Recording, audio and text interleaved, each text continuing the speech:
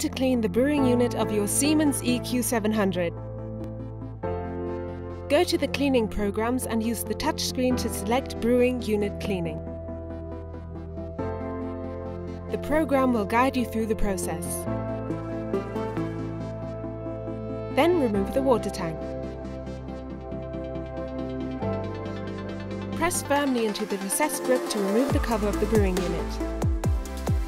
Slide the red locker to the right to pull out the brewing unit. Clean the brewing unit thoroughly under warm running water by moving the brewing head gently up and down. Then let it dry. Remove the interior of the brewing unit, clean it under warm running water and let it dry. Then use a damp cloth to clean the interior of the appliance thoroughly and remove any coffee residue. First, put back the interior of the brewing chamber, followed by the brewing unit with the arrow pointing forward.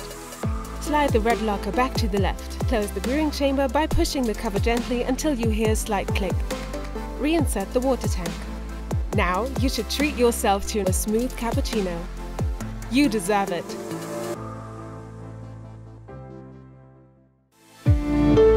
Siemens, the future moving in.